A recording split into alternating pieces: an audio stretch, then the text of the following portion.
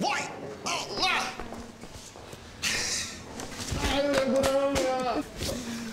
Abi gözün aydın. Eyvallah oğlum darısı başına darısı başına. Abi Serhat ablaya çıkacaktım ben de. Nerede? Boş ver serveti şimdi oğlum boş ver serveti. Yepyeni sıfır numara kızım var benim ya. Ha? Seninle tanıştıracağım birazdan. Bekle bekle bekle. Ya hanımefendi bu kayıt kuyut bir işler varmış da onları halledeyim dedim. Bir de e, gelmişken şu bizim hesabı bir ha, öğrensem ben. Servet e, durum üstün, üstün, servet üstün. Hemen bakıyorum.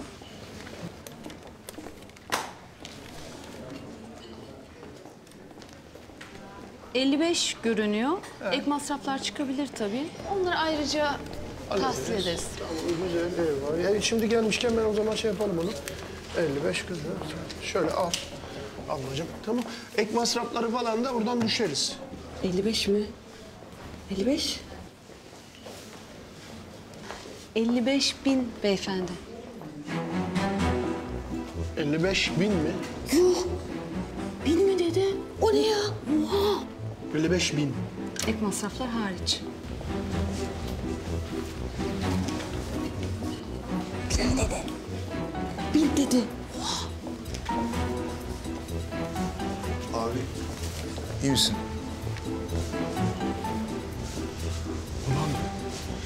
Benim hesapta olsa olsa 15 bin vardır lan. Abi acelesi yoktur ya. Çıkarken ödenir. Ya ödenir de neyle ödenir oğlum? Gazol kapağıyla mı ödenir ya? Nereden bulacağız o kadar parayı? Yok bende o kadar para. Ya e, hanımefendi taksit maksit bir şey yapılıyor mu? Kredi kartı kredi kartı. 15 bin öderseniz geri kalanı iki senet yapabiliriz. Anladım. Teşekkürler. Ulan yani Yılmaz durmaz ya. Senelerce trilyonluk sözleşmelere imza at bir köşeye bir 55 bin lira atma ya. Kafam. Ya abi iki gün öncesine kadar olsa ben hallederdim masrafları da bir kuruş para kalmadı bende. Senden para mı alacağım lan? Ne yaptın lan o kadar parayı iki günde yedin? Ağa torunu değil misin oğlum sen? Abi ne yemesi ya? İstanbul'da kalacağım deyince ailem reddetti beni.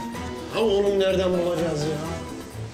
55 bin lira anasını sattığımın dünyasını. Ya 55 bin ne ya? Gönül işlerini çalıştırmamız lazım. Başka yolu yok. Ya bak Sevda, ben 7 gün 24 saat pasta yapsam bile 55 bin lira çıkmaz ki oradan. Yapacak bir şey yok. Bulacağız bir yolunu. Bana bak sen ablama sakın bir şey belli etme. Yürü.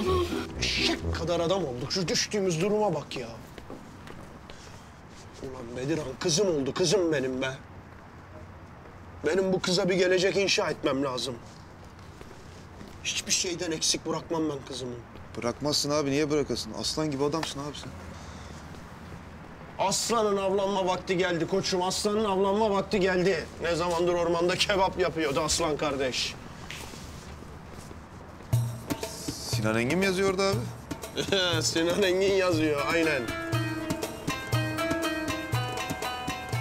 Abi hürmetler rahatsız etmiyorum değil mi bu saatte? eyvallah eyvallah. Ya abi sen beni geçen gün aradın da sabah he. Ya ben böyle bir hafiften akşamdan kalma falan ayıptır söylemesi şey yapama idrak edemedim o zaman da. Düşündüm ben. Ya hazırım ben ya programa çıkmaya. Hazırım hazır. Yok yok. Vallahi hazırım ya. Sen zaten bende bir ekran ışığı görmesen aramazsın değil mi abi?